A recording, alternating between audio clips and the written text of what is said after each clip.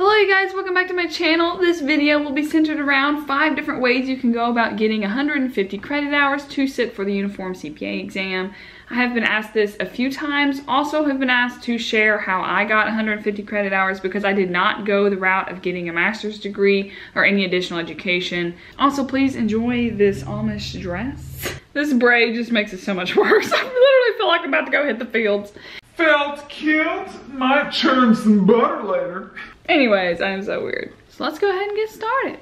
A popular misconception with the idea of getting your additional education requirements to sit for the CPA exam is that it has to be accounting related, and it does not have to. So that is fake news. You do not have to go and pursue additional accounting requirements as long as you do have your accounting requirements fulfilled for your state board. So every single state board is different. They require different things.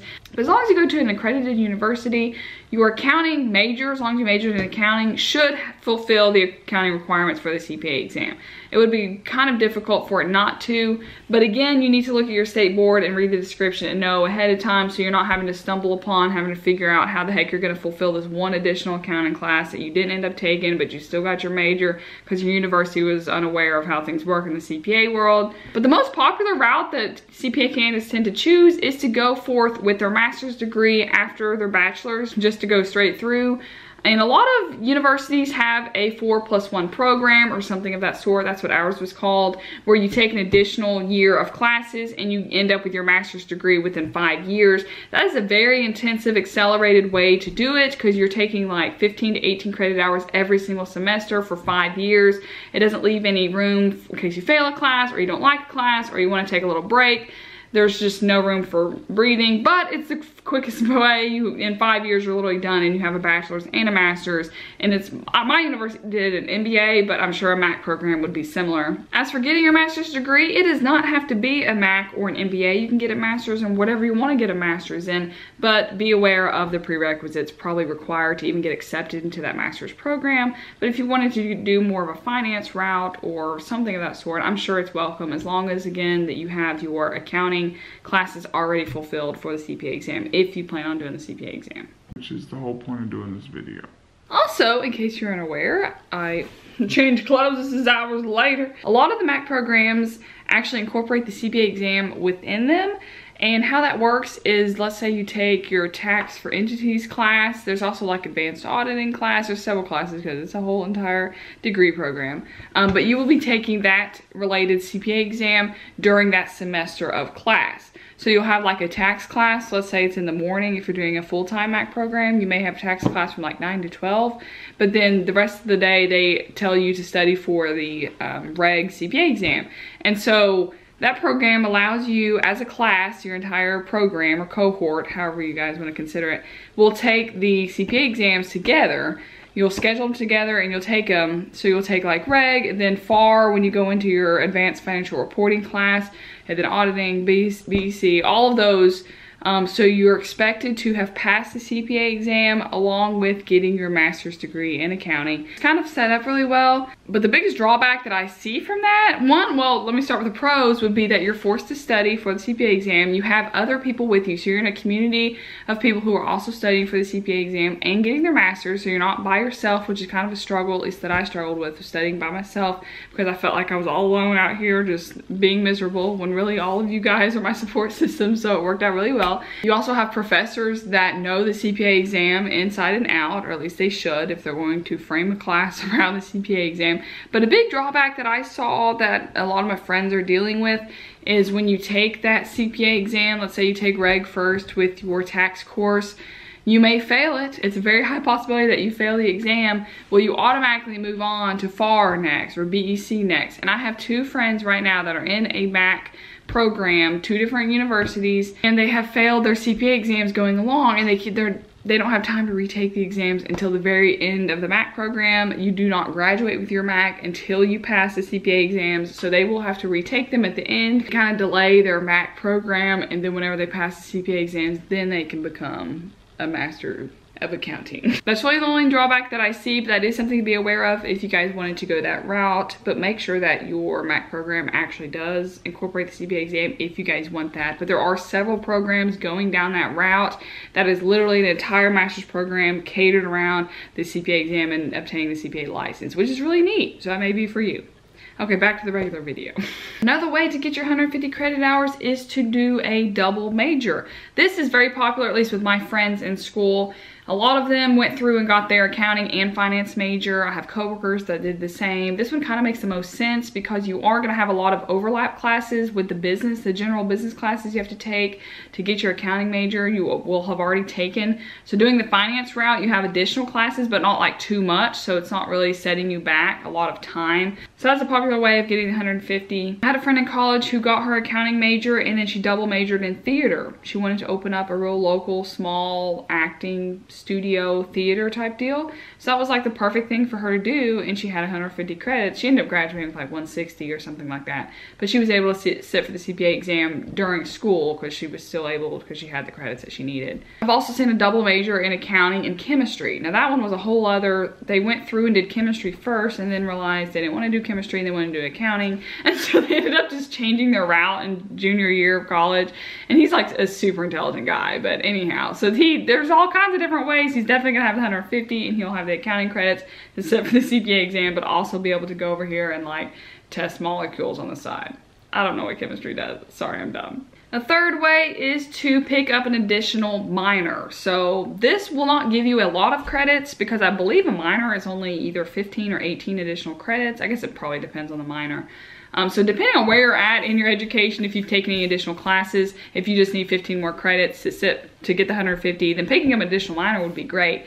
This was 100% going to be my plan. I plan on picking up another minor. Um, we were starting a forensic minor and it ended up just falling through so we didn't have that option but I wanted to do that. There was also just finance that I could have done but I just did not, I did not like finance that much so I didn't really want to do anything extra with that. But for me to pick up an extra minor because I graduated in May within four years, I would have had to stay through December, a whole extra semester um, to get that minor and then graduate in December. And that would have been totally fine. Whereas I just decided to graduate in May and pick up additional classes at a community college. I'll get more into detail into that in a minute, but that way I was able to start my career in September and not have to worry about still fulfilling 150 credits. That was my own personal journey, but everybody's different. I did actually graduate with a minor, but my university is a little different because everyone graduates with a Bible minor. So I had my accounting major and a Bible minor, and we had to graduate with 130 credits. I actually ended up with 135 just to the fact I had to take like like remedial reading because my reading comprehension was horrible, which makes sense with CPA exams of me sucking so bad. but I made it through somehow, miraculous, thank you Lord. But that actually just got cut. I was the last graduating class to have the Bible minor. All the students after me are able to pursue their Bible minor, but they have to go out of their way, whereas I didn't have a choice. I was like, had to take these Bible classes to get the Bible minor. So that's just a whole little unrelated unless you guys go to the college that I went to. you won't graduate with a Bible minor anymore and you will have 120 credits just like the rest of the country. Fourth way of fulfilling the education requirement 150 credits for the CPA exam would be just to take random electives throughout your college experience. If I would have known early on in my college life that I wanted to pursue the CPA route later on, I probably would have jumped on this random elective idea because it would be a lot of fun. Like my friend, she took pottery and ceramics with her accounting major. She took walking, we had exercising, weightlifting, bird watching, all these random classes that you don't need at all for your major and they're not even gonna count towards an accounting elective because accounting electives are different. Like I took forensic accounting as an accounting elective, um, but bird watching is not gonna go in your accounting degree on it for you to graduate with a bachelor's in accounting. But we are in a unique situation as CPA candidates where we're able to pursue our degree, but also we need these extra credits. So why not take these random classes like improv and cooking and knife skills and photography, whatever your college offers, especially if you go to a big state university, they've got tons of classes out there. There's so many fun ones you can get involved in. So if you're not really looking for that additional master's degree or double major extra education requirements, I would definitely suggest fitting in some random electives if they fit in your schedule. Um, but also if you're working through college, I did the entire time I was in college. It's, it's hard to like throw in an extra three hour credit course when you're already tied down as it is. But it's a lot of fun. It's another option out there for you guys. The fifth and final idea that I have for you guys for obtaining the 150 credit hour requirement. Well, this applies for students that are in high school that several of you have commented on videos. You're like, I'm a sophomore in high school and what, da, da, da, and I'm like, what? How do you even know you're gonna be a CPA when you're in high school? I didn't know until I was like sophomore year, junior year of college before I even heard of what a CPA was. I had no idea, never heard of it. But anywho, if you're in high school and you already know you're wanting to pursue the CPA license, I would recommend you're jumping on all of those dual enrollment credit opportunities while you're in high school. I realize not every high school offers this, but some high schools offer an entire associate's degree while you're in high school that you're able to obtain, depending on how advanced your high school is. My high school offered um, six credit hours, up to six credit hours that were transferable to, a, to Tennessee State University or community college. I did not go that route. I went to a Christian college, so they didn't accept any credits like that. So that didn't really apply to me, but it was a really neat option and it kind of gives you a head start going into college anyhow. Also, those credits are typically like either English, reading, math, history, and those are already gonna be part of your degree audit anyhow with an accounting major, so it may not actually give you any extra, but at least it gives you extra room in your schedule in college to take extra electives or whatnot, where you're not having, you're not pressed for a college algebra and English. Why am I talking with my hands so much in this video? I'm over here signing to you guys. Okay, that's probably offensive, I don't know sign language.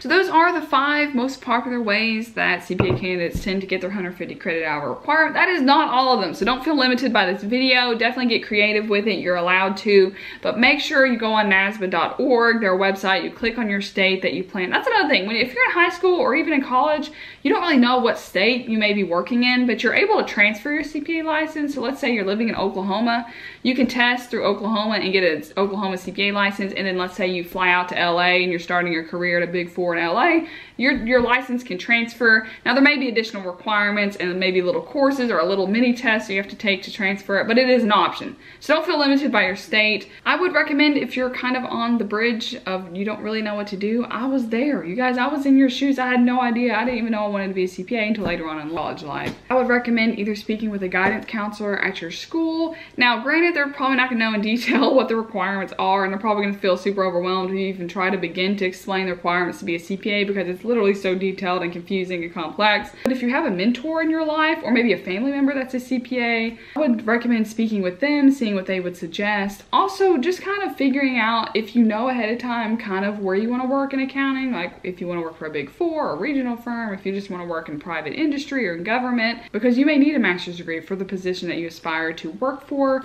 You may not, and you don't really want to be overqualified, spend a lot of money, have tons more student loans. But don't feel pressured on not knowing what you want to do because I didn't know what I wanted to do and I ended up with the best job ever, but that took tons and tons and tons and tons of prayer and patience and me just trusting the Lord that he was going to put me in a job that I really enjoyed, and he did. I also went through several internships. Some of them I loved, some of them I hated. So been through a lot. It wasn't just like planned out for me and easy going on this little cobblestone path. There were lots of missing bricks.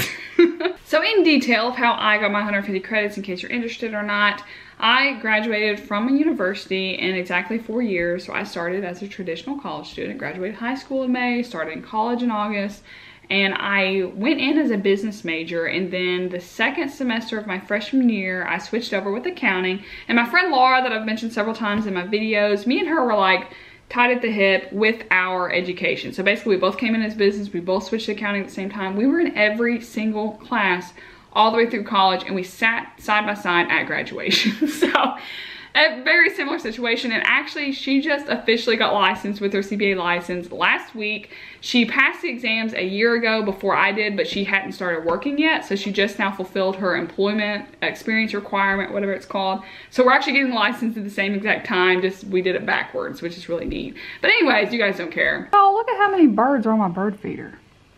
This is why I'm so distracted during this video. I can't stop looking at them. They're so cute. They're all like the same thing. I wonder if they're the same family. What's happening here?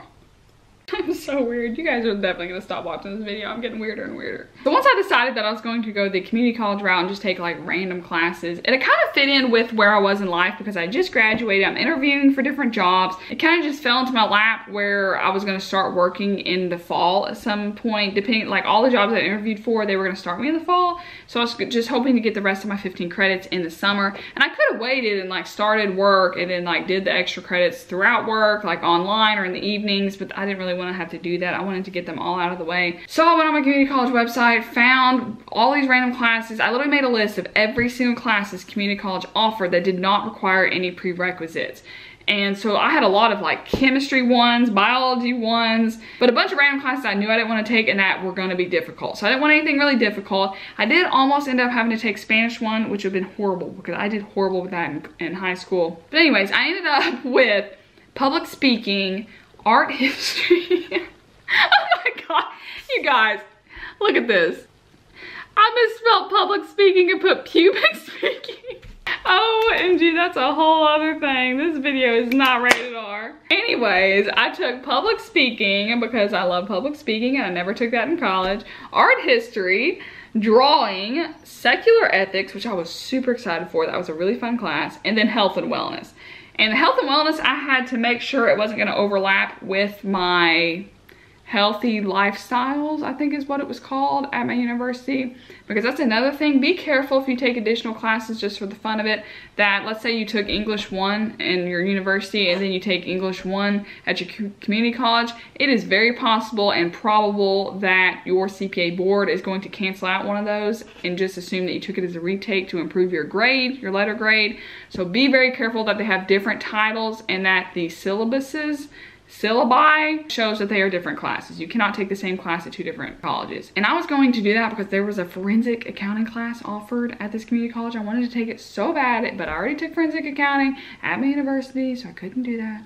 So yeah, I took five random classes. I finished in late July and I had 150 credits and then I was interviewing with the state at the time. I had one three hour long interview, I really liked it, felt like that was where I was being pulled to go ended up accepting the job offer and then I started in September and the rest is history. I probably shared way more detail than you guys even care to know. But those are the ways that I have that you guys can do your 150 credit hours. Please comment down below if you guys did anything different, if you're already a CPA or you know somebody's a CPA that did something different, just to broaden everybody's perspectives and minds on the different options available to them. And it is hard because this is a field and so very specific. It's not common knowledge of what you're able to do. And you can't really just like ask your mom or dad or your cousin advice because they're not gonna know unless they're a CPA. And you really don't wanna screw yourself up where you're having to randomly take a three hour math class to fulfill the CPA requirement when you're in your career and you're ready to sit down for the exam. So you really wanna make sure you've got all your T's dotted and your I's crossed or whatever the saying is. do I know my alphabet? I don't know. So thank you guys so much for watching and hopefully this video was helpful and I will see you guys next time. And pubic speaking. Bye!